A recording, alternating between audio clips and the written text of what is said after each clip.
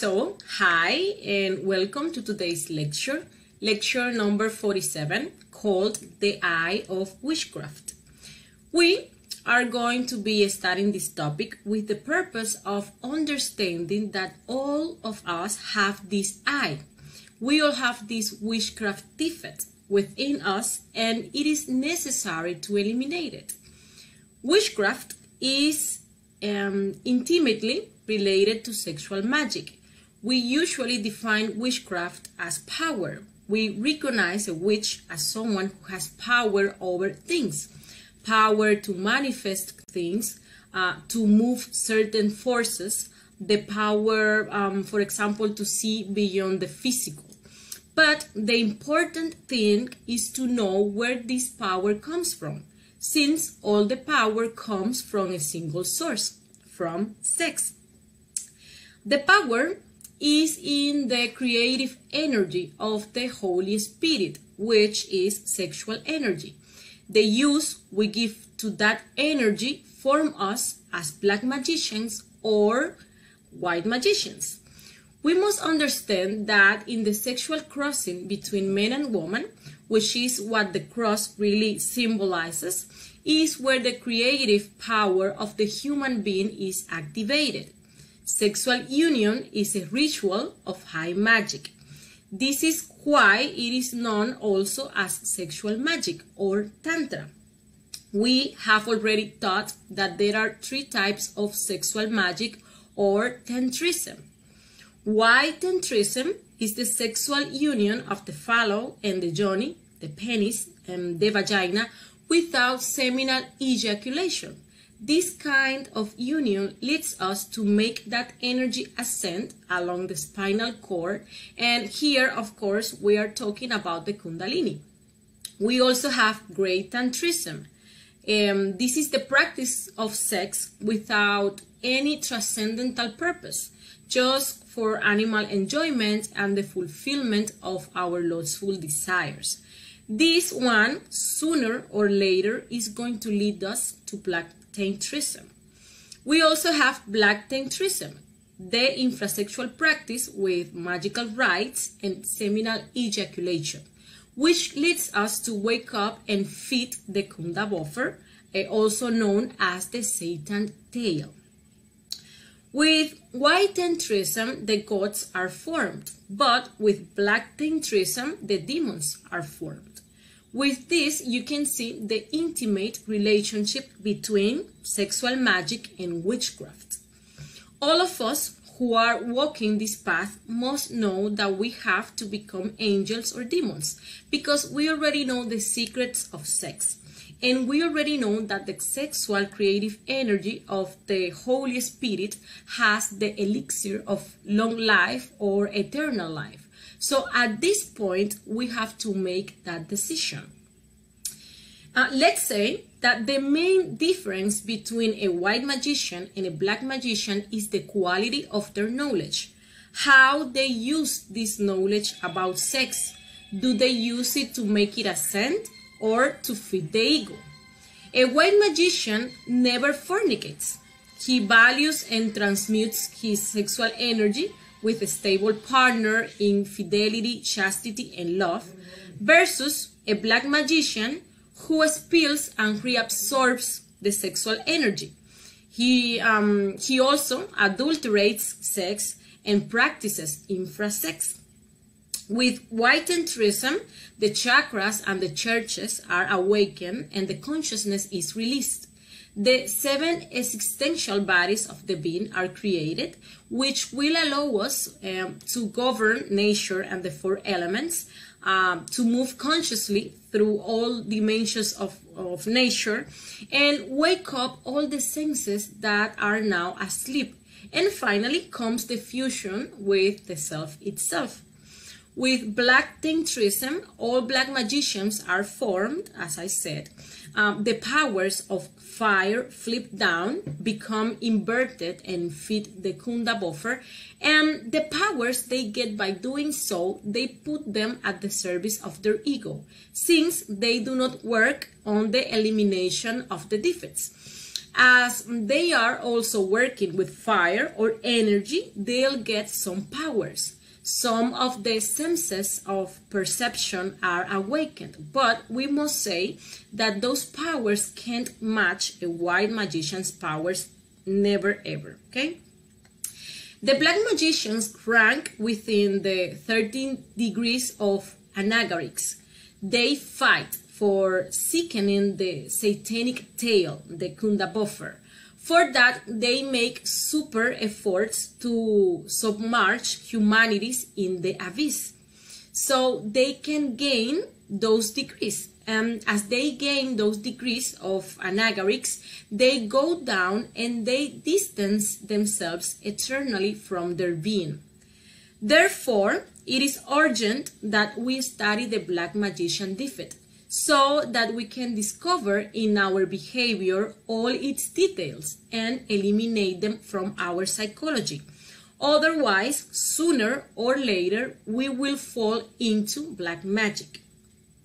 Here, uh, we have some specialties of the black magicians, and we must look for those details within ourselves. Maybe we don't do any of these things, but we also may check if we have visited um, visited or seek for help with any witch or black magician okay? So we have sorcerers uh, we have um, um, spiritualists uh, fortune tellers concealers omens false prophets healers santeros prayers priests magnetizers mesmers um, witches um, uh, voodoo priests fetishists counterfeiters, tricksters, etc., etc. Also, it's going to be very useful to know the forms of attack of the black magicians so we can protect ourselves. And now that we are saving our energy and trying to awake consciousness, we are going to be the objective of some black magicians that may want to steal our energy or even make us disease in this inner work. So they attack um, during sleep, for example, for, uh, projecting movies in our minds, um, causing us fear and doubt, giving us teachings that confuse. That's why in the astral we must conjurate everyone who comes with um, certain knowledge or certain uh, teaching to know if we are dealing with a real wide um, master or if we are dealing, if we are in front a black magician, okay, it's very important to conjurate everybody in, in, in the astral. They can also um, associate us to black magicians. So it's very impo important not to be making deals in the astral because we can be making a deal with a black magician and getting associated with him. They can also make us become identified with lust um, they can seduce us, uh, sed, um, sedu um, seduce us, excuse me, in a lustful dream and steal our sexual energy. And when we are awake, they can send people, they can employ magicians to do certain black magic work. Um, they can also attack us with works of black magic like hauntings, spells, ligatures, voodoo dolls, funerals substances um, with evil eye, with um, intervention of elementals, um, doing black magic operations to our sexual parts, brain or spine, doing castrations. They can cause diseases. They can cause also enmities, enmities with friends, family, students, and acquaintances. Um, they can also cause psychic obsessions like fixed ideas, negative thoughts, negative emotions. Um, they also attack us through vices like alcoholism, drugs, gambling. Um, they also attack us through some aspects of culture like fashions, intellectualism, music, etc., etc. Okay, the main places where witchcraft is worked are black magic clinics, cemeteries, pseudo-esoteric schools, churches, temples of prayer, uh, tolerance zones, brothels, motels, theaters, and stadiums. Okay? So, um, some of the powers that black magicians develop uh, are, for example, Jinn states, levitation, astral and mental unfolding, power in the word, so they can convince many people. Uh, they can control animals, elementals. Um, they develop magic healing, um, clairvoyance, telepathy, premonitions, and sexual domain. Some of the black magician works are uh, works with black magic, of course, with elementals, with animals and humans. They make spells, manipulations. Um, they also create dependencies.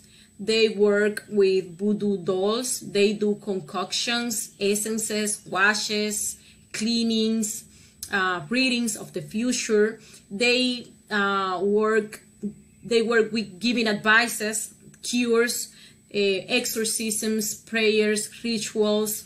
They unmatch and match with land or, or ground, plants, elementals, animals. Um, they do black tantrisms. They do operations. They use blood, semen. Um, they do grafts. They um, do organs transplants and tattoos. Yes. they also do some dominations with advices, seductions, emotional forces, mental forces, spells, hypnotism, magnetizations, sacrifices, satanisms, diseases of the of the physical, vital, astral, and mental bodies. And some of the tools of divination they use are astrology, tarot, um, cartomancy, reading hands, reading the iris of the eye, spiritism, the Ouija, reading um, the cups of chocolate, coffee, or tea. For this purpose, they also use cigarettes, tobacco, stains, um, coffee grounds, candles, pendulums, etc., etc. Okay, they also tend to monetize with their powers, so they are going to charge you and sell you their witchcraft services and tools or instruments, such as amulets, talismans, metals, minerals, crystals, substances, concoctions, essences, uh, cleansing, medicine, books, candles, and all kinds of black magic work they do. Witches, uh, of course, offer us things like health, money, love, powers, prestige, pleasure, seduction, revenge, domination of people, good luck, etc., etc. All of us want those things and we want to get them in an easy way. And we believe that going to a witch is the solution. The truth is that no, it is quite the opposite. Without realizing it, we, uh, when we seek the services of a witch, we become linked with the witch and with the entity that is behind him or her. We open ourselves and give permission for being robbed of our energy.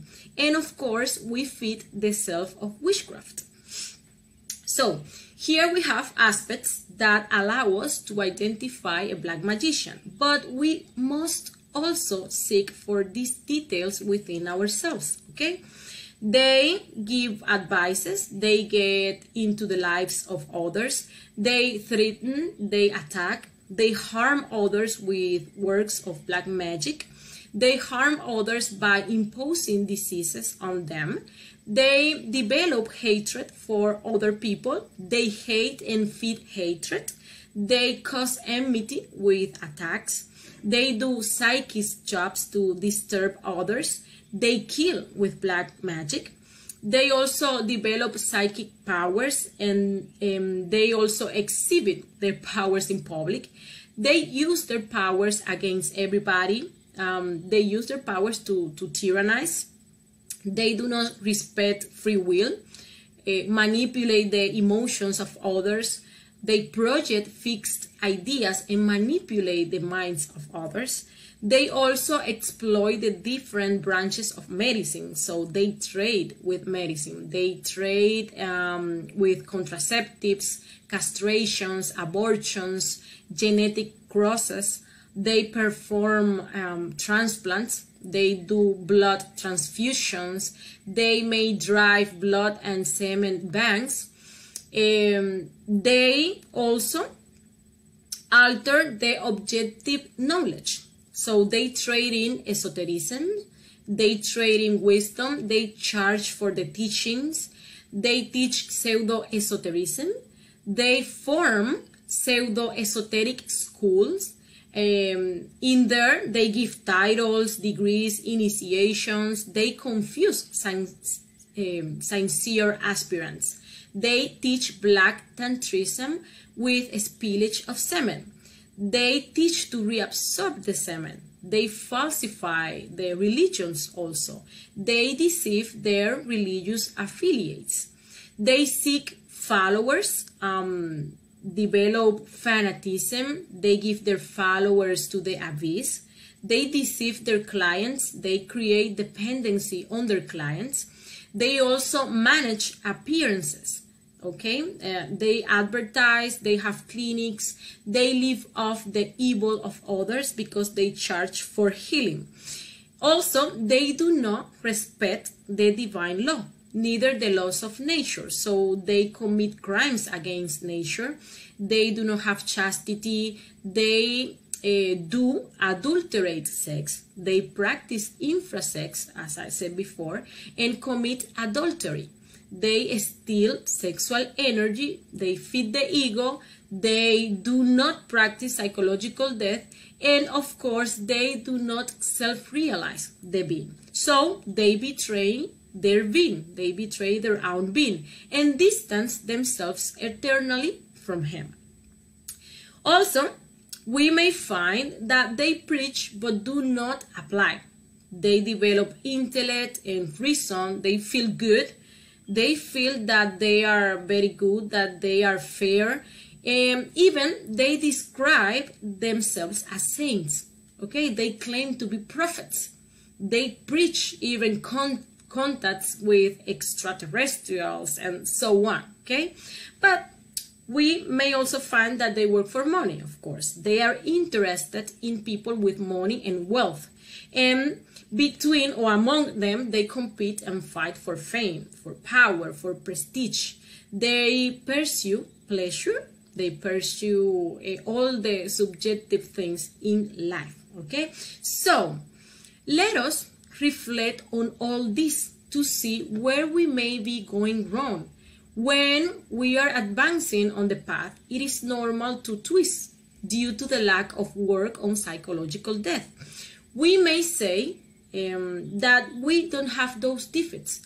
But if we look closer, we are going to find, for example, that we love giving advices to friends or relatives, that we like to manipulate people so we can get what we want from them. We feel hatred, we, we feel envy, we desire bad things to happen to those people. When we are angry, for example, we tend to curse. We tend to curse the things or we tend to curse the, the people. We like having or buying crystals, essences, reading books of magic, uh, watching TV shows of magic or witchcraft. we betray our being doing things we know we shouldn't do now we know the power of sex and still we continue fornicating. Or we use this energy, as, as we already know the power it has, we use this energy to attract material things. Uh, we want to develop powers, okay, to, to do the things we, we like, to do the, the things as, as we want. We want to make others dependent uh, on us, or we become dependent on others we are liars.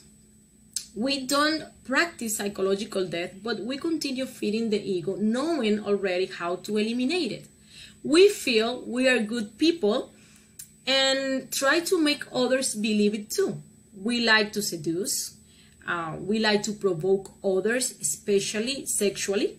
We slander others. We try to force others to love us. We tyrannize them. We don't respect the free will, uh, the free will of, of other people.